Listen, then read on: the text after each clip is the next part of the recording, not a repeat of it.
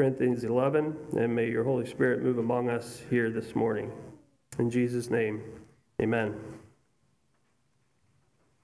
1 Corinthians 11, verse 1. Be followers of me, even as I also am of Christ. Now I praise you, brethren, that ye remember me in all things, and keep the ordinances as I delivered them to you. But I would have you know that the head of every man is Christ, and the head of the woman is the man, and the head of Christ is God. Every man praying or prophesying, having his head covered, dishonoreth his head. But every woman that prayeth or prophesieth with her head uncovered dishonoreth her head. For that is even all one, as if she were shaven. For if the woman be not covered, let her also be shorn. But if it be a shame for a woman to be shorn or shaven, let her be covered. For a man indeed ought not to cover his head, for as much as he is the image and glory of God. But the woman is the glory of the man. For the man is not of the woman, but the woman of the man. Neither was the man created for the woman, but the woman for the man. For this cause ought the woman to have power on her head because of the angels. Nevertheless, neither is the man without the woman, neither the woman without the man in the Lord. For as the woman is of the man, even so is the man also by the woman, but all things of God. Judge in yourselves, is it comely that a woman pray unto God uncovered? Doth not even nature itself teach you that if a man have long hair, it is a shame unto him? But if a woman have long hair, it is a glory to her, for her hair is given her for a covering. But if any man seem to be contentious, we have no such custom, neither the churches of God. You may be seated.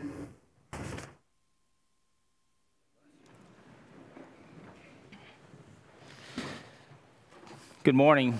So good to be in the house of God this morning. Um, yeah, it's just good to be with us, with you, and hear the singing this morning, be a part of the singing and the devotion, Sunday school lesson, and the topic. Um, yeah, it's just great to be in the house of God. This morning, I chose to um, have a sermon on the war on morality, the headship order, and the head covering. Um, you may wonder why such a topic. I think I may have preached on the headship covering five, six years ago. I've been asked um, by people, or I've heard people have said, you know, this is something we don't preach on very often, so maybe I'm going to be a little redundant and say some of the things I said the last time. It is a hard topic. Um, in many ways. And it's studied, 1 Corinthians 11 is studied in, by many theologians, and there's a lot, of, there's a lot out there um, on this topic. Um, many, many theologians spend hours and hours on 1 Corinthians 11 trying to understand what it's about. And I don't claim to be able to give you a clear, perfect picture, and definitely just scratch the surface on the three topics of morality, headship, and the head covering this morning. Love to hear more from you. Dig in God's Word, there's a lot there um, on this topic. So after the sermon, continue to study um, what God has on this for us as a church and for maybe us as individuals. I'm going to open up with a verse um, in, in Ephesians. For though we, I'm sorry, in First, uh, Second Corinthians. For though we walk in the flesh, we do not war according to the flesh. For the weapons of our warfare are not carnal, but mighty in God for the pulling down of the strongholds. You've been spending any time in the news the last three, four months may have been a little discouraged. Um, there's a lot in there about rioting in the streets, Supreme Court continuing to take away rights of employers given to the LBGTQ crowd, churches taking away their rights to worship and sing together as a group, abortion clinics opening during the pandemic, and transgender operations taking place while restricting cancer treatment, um, and the list goes on of just things that we say morality and breakdown of morality in our nation. We say, what's going on? We're engaged in a battle, brothers and sisters, um, and it's real. And there are many um, who are standing strong, but there are many in the church who are falling in this battle um, and refusing to fight. We cannot fight that war in human strength or wisdom. But like Paul says in verse 4, the weapons of our warfare are not carnal or human, but we are fighting with weapons that are mighty in God. In other words, we have supernatural weapons. That's good to know, isn't it? In a time like this, we have supernatural weapons um, that help us in this battle. Let's remember who and what we're fighting and how we need to engage in this battle. John MacArthur says this it's a spiritual and a supernatural battle of ideologies, ideologies that men have concocted under the influences of demons. Fortresses are being built out of these ideologies. They are solid in their foundation. They are rooted in the world and in the culture of the world. And we have to go after them with supernatural weaponry. This is a tremendous task for us as Christians. Um, and I think that's not a surprise to us. Hopefully, it's not. I believe Satan throughout history has been at war against morality. This battle is not a new battle, and probably not any more intense than it was a thousand years ago, even though it seems like it is to us. Satan has battled the headship order for years, knowing it can bring people to questioning the headship order the headship order and their authority, he has won the war. If he does that, he can win the war on morality. This is also why the devil hates the head covering, because the head covering shows Satan and the angels your belief on the headship order, which we're going to talk about some more. This morning, I'd like to cover these three very important topics morality, headship order, and the head covering. And we're going to start with the first battle the war on morality. War on morality or truth started in the garden when Satan questioned God's truth, and has continued today. Satan said, Is it really so? Um, the war of morality is, de- is more of a war to, uh, against truth than anything else. This is also why Satan hates, I'm sorry. Um, in fact, before we finish the first book of the Bible, Genesis, we read about every type of immoral behavior and Satan's battle to pervert all mankind. Now, listen to this. This is Genesis. I'm just going to go over this real quickly. In Genesis 4, verse 23, we have the first polygamy. In Genesis chapter 9, verse 22, we have the first lustful look stated. In chapter 16, verses 1 to 3, we have the first case of idolatry. In chapter 19, we have the entrance of homosexuality with its, all its perverseness. In chapter 34, verses 1 and 2, fornication is introduced. In chapter 38, the first case of incest is written. In chapter 38, verse 24, the first prostitution. And in chapter 39, the first specific incident is recorded of seduction. So before we get out of Genesis, we see every type of immorality um, that we're dealing with today in our culture. People are bombarded with perversion, all de- designed by Satan through the world system.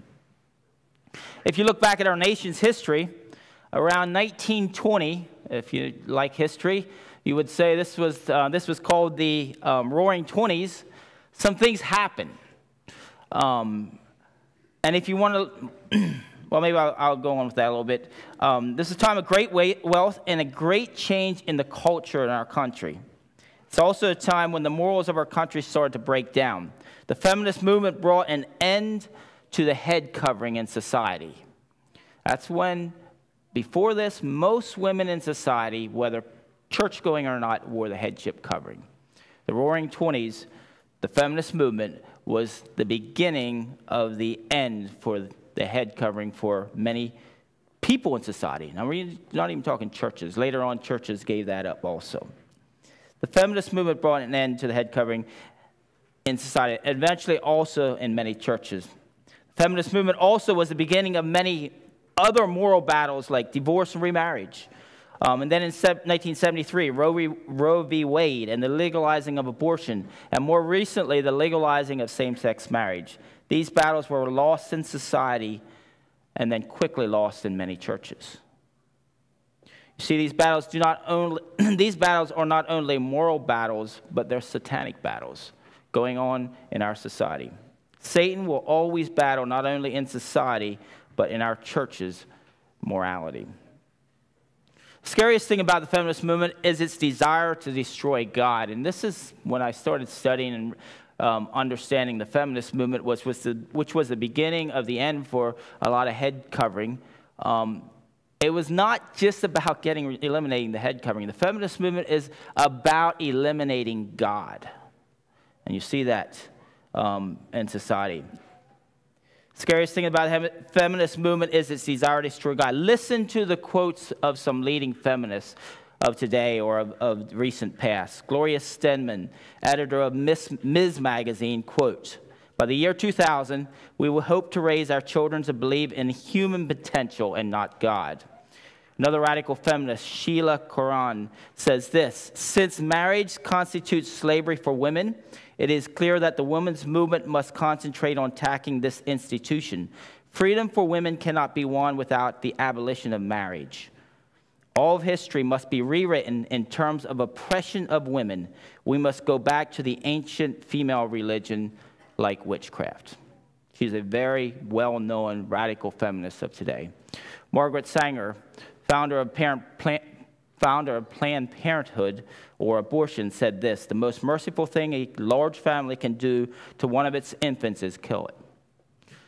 Now, that's the feminist movement.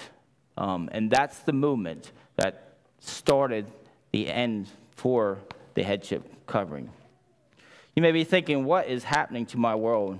But I'd like to remind you of this the battle Satan has long raged in our world. Its origins came very early after the fall. Feminism is a very old heresy. Um, in fact, feminism started way back in the early, probably in the garden, you could probably say, but it was started in the name of Gnosticism, which I'm going to just read a little bit about, and then we're going to move on. Feminism is an ancient form of paganism, in fact, the very same one that Paul faced in the first century AD when Paul was writing to the Corinthian church. The ideologies of this time wasn't, weren't any different than what we're facing today. In fact, the best way to understand is that it is a repackaging of what we know of today as the New Age movement. It was called Gnosticism. Gnosticism from the Greek word gnostis, or to know. In ancient times, there was always people who said they were, had higher knowledge. They had ascended beyond the frivolous, trivial, low level thinking of most people, particularly Christians. Even today, like in the time of Paul, we're getting assaulted by those who have the higher knowledge. Brothers and sisters, that is a scary word. When people try to come to a, a, Christian and say, I know way better than you, I have a higher knowledge, that's old heresy. That's not new. And the devil will constantly work on um, us as Christians by making us believe we're not smart, we don't know anything, and we're simple. We call this thinking today the New Age religion. The parallels of Gnosticism, New Age, New Age religion, New Age religion is starkly similar. You see, the devil's at war against truth and God's word. If he can get us to believe this headship order and the head covering doesn't matter anymore, he has us where he wants us. Let's take a closer look at the headship order Paul is talking about here in 1 Corinthians 11.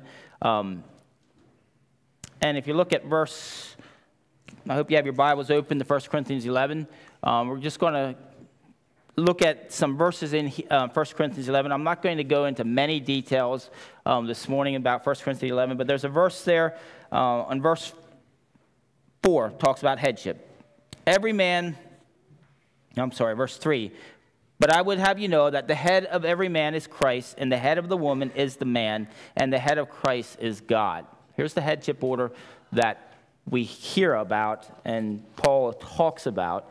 Um, it's the authority structure um, that Paul is talking about here. I'm just going to make a couple points about that, and then I want to talk about the, the three different headship orders. It's not hard to see we're living in a generation that hates headship. Is that right? Read the news. Everybody's, um, we have rioters against authority. We have many people fighting many things. People don't want someone to tell them what to do. We all want to be our own authority, and we wonder why our world is turned upside down. And, be- and before we point fingers at Antifa or BLM, let's take a look at our own lives. What headship order are we fighting? What's the battle that Satan is trying to get us to, to fight? What authority are we fighting? Dr. K.P. Yohannan, pastor of the Metropolitan Believers Church in India, in his book Headship Covering, says this Paul wanted the believers at Corinth to grasp the depth of his teaching, the headship order, the foundation from which all of God's acts originate. This foundation, the authority, the government of, of God, flows from the throne of God and is basic for the teaching and practice of the headship order or the head covering. In 1 Corinthians 11:3, the headship order is God's government and his order of authority. In many ways, the headship order doesn't always make human reasonable sense. You start studying this a little closer and you're like, it doesn't quite logically make sense. And that's where the feminists, that's where the world goes. Does it make sense for men to have, uh, for women to have to be submissive, uh, submissive to men? Um, a lot of, in a lot of ways, you could soon have yourself believing that just doesn't make sense. Um, and it doesn't have to. It's what God has asked us to believe in and do. And that's why the world rebels against this. But as Christians, we want to stay under God's umbrella of protection. We need to believe it is God's way and his government and his government and follow his headship. Another interesting quote I found by Watchman Nee um, a well known Baptist Chinese pastor, said this about the headship and the headship covering. The matter of head covering belongs to God's government. For those who do not know God's government, it's impossible to exhort them to have their heads covered. They will not be able to understand how much is involved in this matter. So, what is the headship order? And let's go right to 1 Corinthians 11 3, and let's look at the first of the headship order. First of all, God is the head of Christ. We see Christ as equal to the Father yet submitting to the Father as his leader and, may I say, his authority. Now, this is kind of hard for us to understand, right?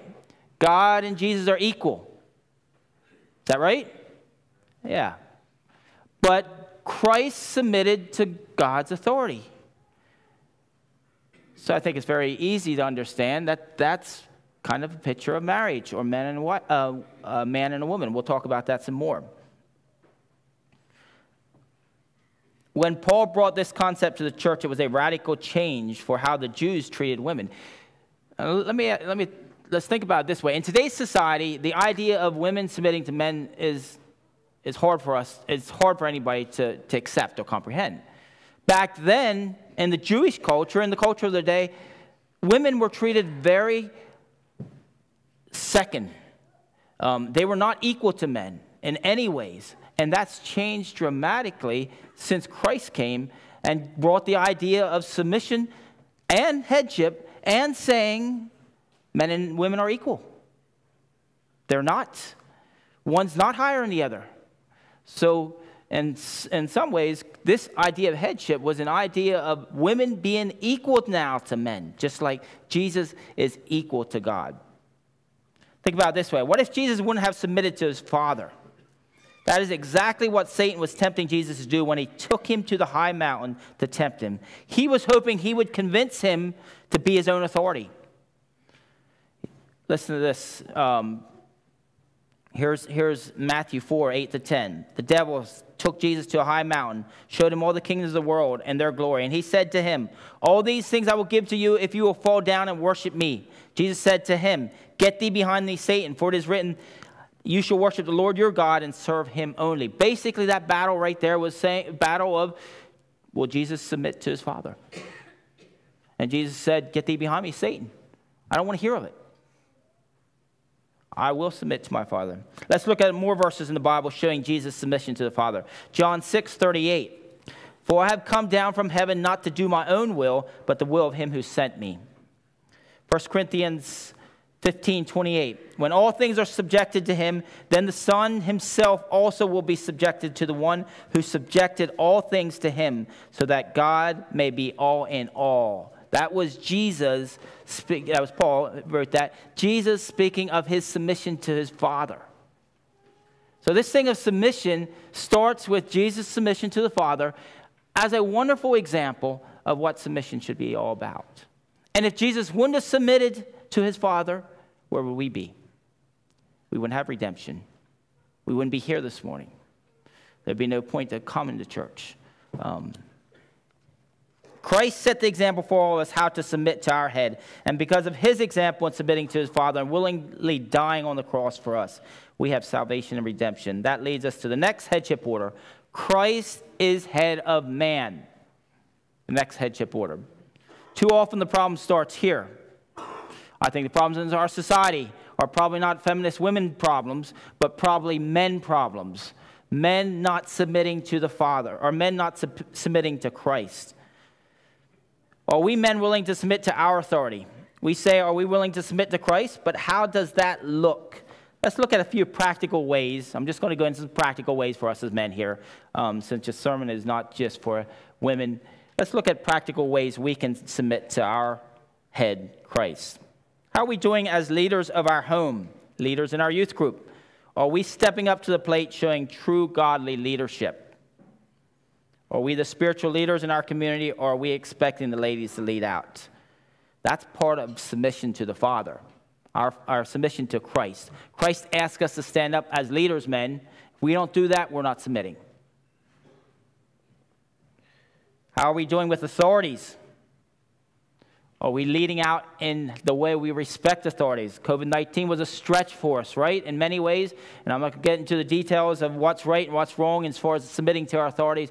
Um, I will say, I was just sitting in a lunchroom Friday, and by a very conservative group of people, you would have had a hard time believing they were conservative when it came to their opinions on how to submit to authority. Quite eye opening. Um, and I'm not wanting to get controversial with this subject, but yeah, when they can very loudly say, I will never listen to my authority when it comes to this. It's a little bit of a problem. And I think we have to constantly take a look at our own hearts um, with things. Our township, how are we doing? Tough one. How about our wicked government quote that we like to say. How we do with just the way we speak about, just the way, what's our attitude towards our government?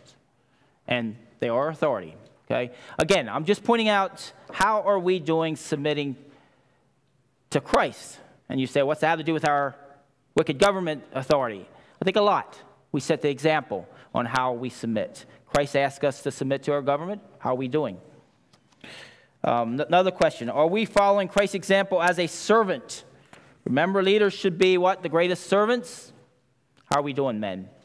Are we serving um, people around us, our family, our wives, um, people around us? What are we doing to show an example to women of what we think of Satan's kingdom? Here's a tough one. Are we willing to stand up against the tide? That's what a leader is, right? A man that's willing to stand up against the tide. I've heard of, um, I heard it said one day, a leader is, or it wasn't a leader, it was a, um, the definition of um, a leader is somebody who's walking upstream against the tide.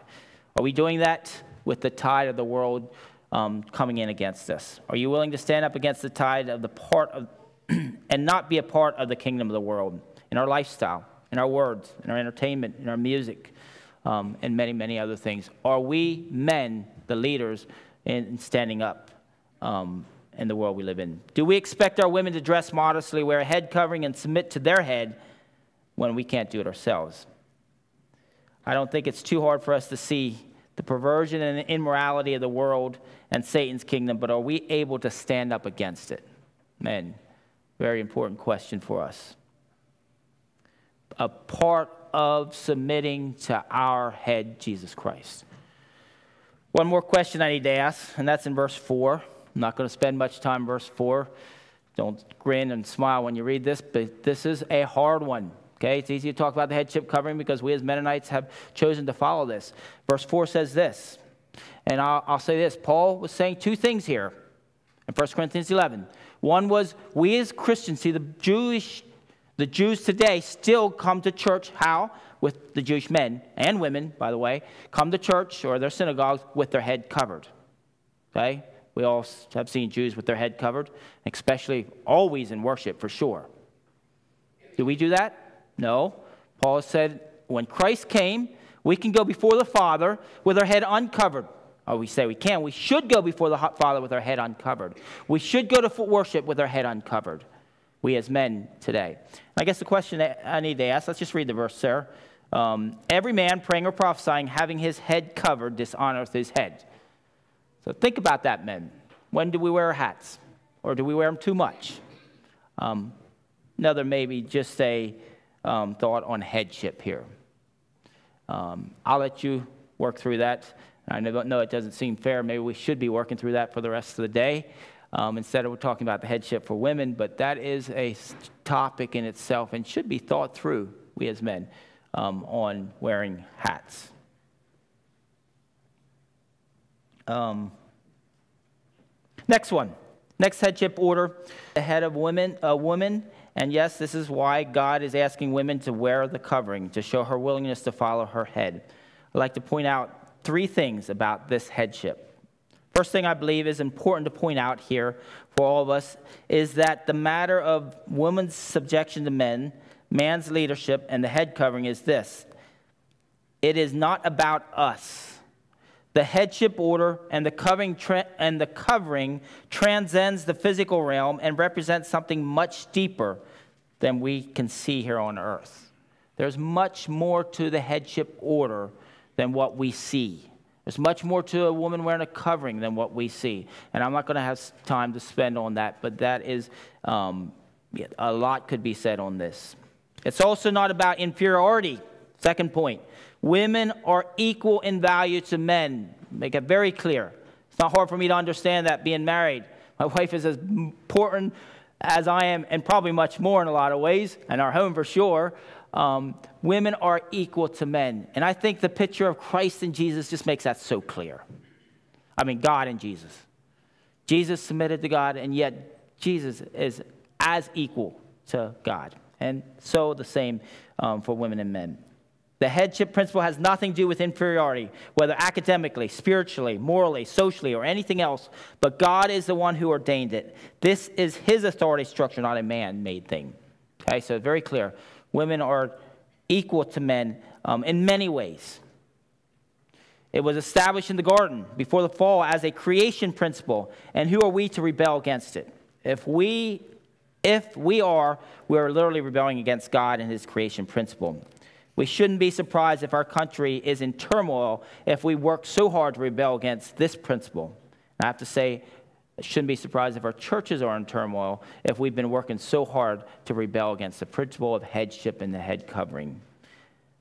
And I think it's one reason you find lukewarmness so much in many churches um, because, of the, this, because of rebellion against some of these principles. It's a principle clearly demonstrated in the Trinity. All three are equal, and yet to keep order, there must be a headship and, a, and sub, subordination. The Son willingly submits himself to the will of the Father, and the Holy Spirit doing the work of the Son. You as a woman, you as a woman have the opportunity to show the world how Jesus so, showed subjection to, to his Father. We just, co- we just covered the second battle Satan has been waging, the, wage, the battle against the headship principle. Let's now look at the head covering, the third battle that I think Satan is waging against, and that's the battle of the head covering. I want to make maybe just a disclaimer here, or I don't know if that's called a disclaimer. Um, in doing this, I am not encouraging, in studying this or talking about this, I am not encouraging self righteousness as believers. We are better than we're not better than others if we obey this command. That's not the point. And if it brings self righteousness to us, shame on us. A beautiful thing that God is asking to do can be destroyed by many things like self righteousness. Neither am I encouraging you women to wear the head covering for legalistic reasons. But what I'd like to encourage you is to follow God's command because we love Him. We want to glorify Him because of what He did for us. The covering is not a salvation issue, but a great benefit and a blessing for us as a church to follow. The head covering. Why is it for today? I believe, first of all, and probably most important reason to wear the head covering is the Bible commands it. Okay? I'll say this about 1 Corinthians 11. I think most middle school students could read 1 Corinthians 11 and say, it's a head covering. Not so complicated. God asks us to wear, uh, God asks women to wear a head covering. In fact, a lot of theologians study this passage, and I've read many commentaries, and most of them say, guess what? Yes, it is a head covering. Some of them will find, say, it's culture and use all kinds of reasons why we don't need to wear it. But most theologians go back and say, yeah, that's what it is. Not so complicated.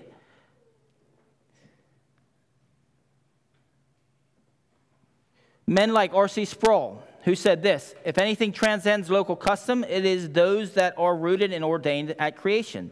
That is why I'm very frightened to loosen of this passage. He's talking about 1 Corinthians 11.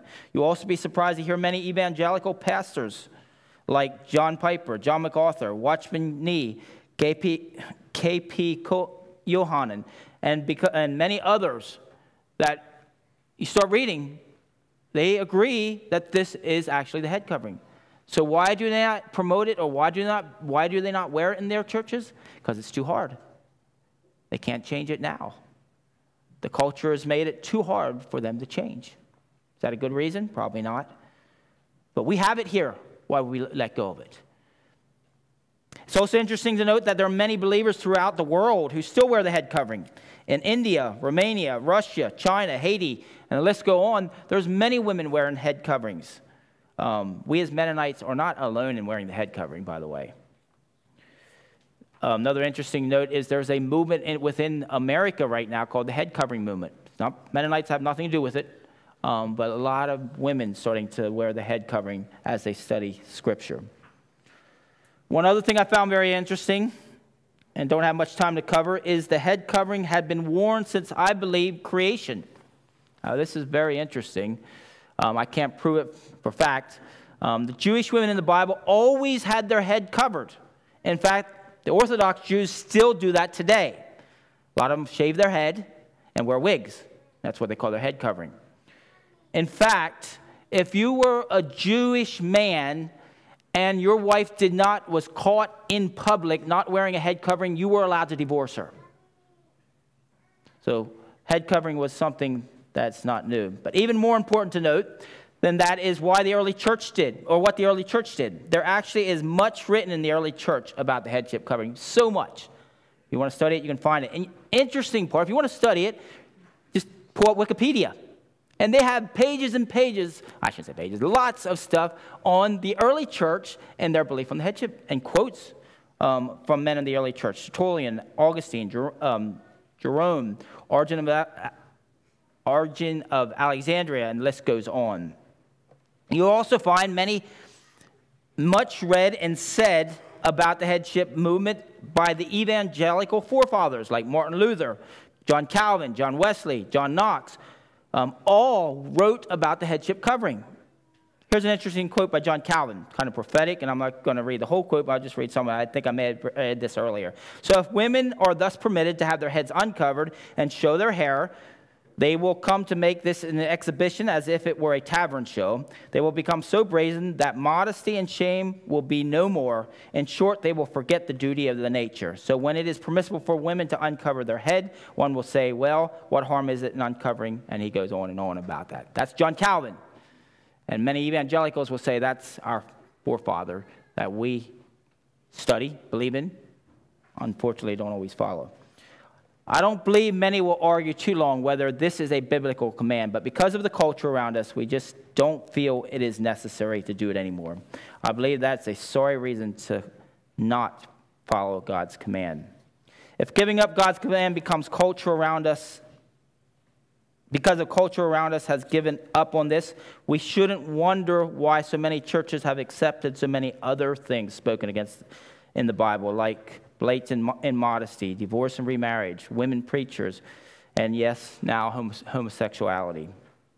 Has there ever been a time when it feels like people are willing to ignore the commandments in the Bible without much regard? I don't believe many of us find it hard to understand when we start ignoring one of God's commands. It's so easy to quickly to ignore more and more and more. Is there no other reason, if for no other reason, we should believe and practice the headship veiling because it says it in the Bible? Second point I have the head covering is beyond the visible. First of all, We are clearly giving a visible sign to those around us when wearing the head covering. It's an ordinance that gives a visual symbol for a spiritual truth, like communion service or baptism, or kind of like a wedding service. So we have wedding services for everybody to see it, to give a point, give a visible, uh, visible make a visible point of um, a truth. And that's what a covering does too. It's also important to note not only are people around you seeing the physical covering, but it is recognized and seen by the unseen world. God's angels and Satan's demons. When a woman covers her head, she covers both her glory and man's glory, allowing all glory to be to God. When angels come before God's throne, they use their wings to cover themselves. In fact, two thirds of, their, uh, of an angel's body, I don't know, I've read this, is, is to cover itself. Their wings or two thirds of the body are their wings, and they use that to cover themselves when they come before the Father. When angels come before the throne, they use their wings to cover. They understand the holiness of God and believe it grieves them when they see a woman covering, coming before the Lord with their head uncovered. Listen to this. This is an early church father, St. John Chrysostom. An early church father says this If the air is filled with angels, how much more the church? Hear the apostles teaching this when he bids the woman to cover their heads with a veil because of the presence of angels. In Satan's first act of rebellion, he sought to project himself in his own glory, like, he said, like it says in Isaiah 14 13. I will ascend into heaven, and I will exalt my throne above the stars. Some people believe in his first act of rebellion, he came before the Father uncovered. Now, I'm not just talking about his head uncovered, but his feet, and, and that was angels always come before the Father covered. Like Watchman Nee says, no wonder Satan persistently opposes the matter of the head covering. It really puts him to shame. We are doing what he has failed to do. Got that, ladies? Men? We're doing what he has failed to do when we wear the head covering. We may have wondered what Paul has meant in verse 10. For this cause ought the woman to have power on her head because of the angels. I think it has something to do with this. Not only does the head covering affect the angels, but the rebellion un- of the uncovered head affect the fallen angels and give them power and give them power and control in our world. I believe this rebellion has a direct effect on the problems of our country and our churches. Brings us to, that brings me to the third point the unveiling of the head covering in our society and churches has a direct effect on morality and rebellion in our country. I don't have a lot of time to spend on this. There could be much said on this. The feminist movement of the 20s was the beginning of a downward spiral of morality in our country. One of the first things that changed in our churches in this movement was the head covering. But we all know Satan wasn't satisfied there. It's not hard to understand what else he did many, many things. This led to immodesty, divorce, remarriage, women preachers, and the list goes on. Are we at all surprised that if the churches have changed so much in the last hundred years, that our society in general has also taken up the same rebellion as continues to perpetuate, perpetuate rebellion and sin to an even greater level? I think it's very clear for us here at Weavertown. If we expect not to follow the rebellion of the world, we need to humbly submit to yes, the headship order, the head covering. And I know that's a hard one. Um, I know that's not easy. And I know the devil is determined to not make it easy. And I think that's one proof of the value of the head covering is how much the devil is trying to do to destroy that. Last reason I believe for wearing the head covering is there is a blessing in wearing the head covering. Um, unfortunately, I don't have much time to talk about that, but there is a wonderful blessing in this, and I just want to give a couple points in this blessing. When we truly submit and follow Christ, it will even change our demeanor. That's the first point I have. People that are submissive, men or women, and follow Christ have a radiant spirit about them, especially if they're doing it with a good attitude. Now, it can be done sometimes in a bad attitude. Um, we submit just because we have to. I've seen little children that way, and I've seen big children that way, big boys and big girls that way too. But I think it's kind of like the verse in, um, uh, forget where it talks about the cheerful giver. He says, Don't do it grudgingly. Um, for us today, don't submit grudgingly, do it cheerfully. And if you do, it's going to affect your countenance. People around you are going to be uh, moved by your spirit. Another way I do believe the head covering can be a blessing to a woman that wears it, it can be a protection. And again, I don't have a lot of time to talk about protection, but there's so much to this. Um, I believe there is a wonderful spiritual protection for all who put themselves under authority. You find so many places in the Bible where someone rebelled and stepped out of authority and the consequences. And people like David who followed their authority and actually the consequences of following authority. I also believe there's a physical protection for women who wear the head covering, and I'm not going to get into that. Another blessing I think we often may forget is the wonderful witness you have as women in wearing head covering. And as I was studying this, I realized that men are supposed to uncover when they become before the Lord ever since redemption. So why weren't women? And I um, struggled with that for a while, and I'm going to just talk about that maybe a little bit here. The head covering is a wonderful witness of our love and desire to follow Christ and follow the headship order. I believe when a woman wears a covering, she's pointing back to Christ's redemption story in the gospel message. You see, in the Old Testament, men were required to wear a hat before they went into worship. But after Christ came and died, men were asked to remove their covering because we can freely come before the Father and worship Him, now uncovered as men. Jesus took away our guilt and allowed us to come before the Father uncovered. You may be thinking, just like I was, why then should women come before the Father veiled? I struggled with this one. Did they not receive this, His righteousness? Absolutely, they did. Of course, we know women did receive the same righteousness that we received because of Christ.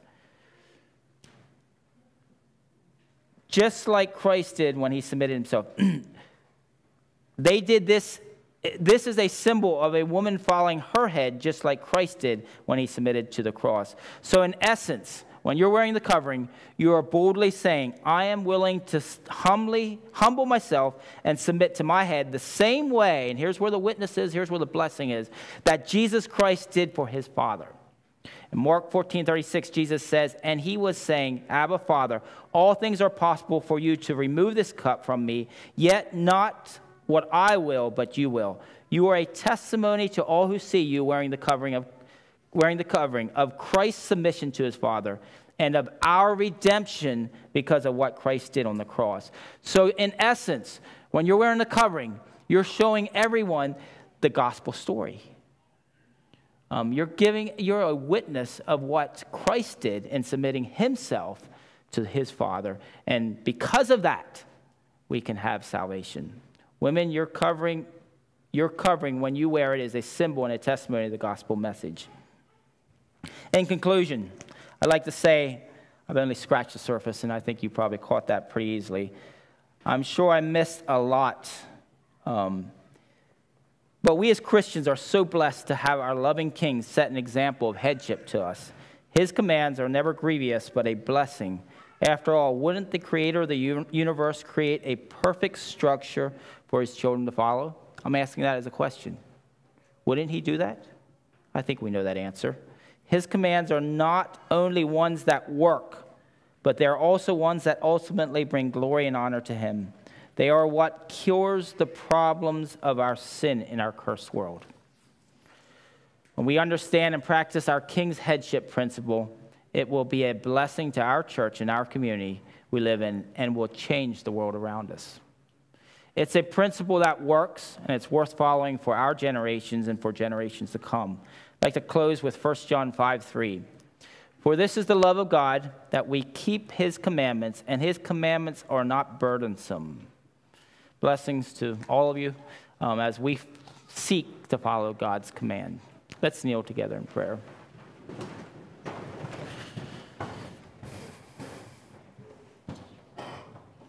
Heavenly Father, we just thank you for your many, many good things you've given us, and thank you for having a perfect way.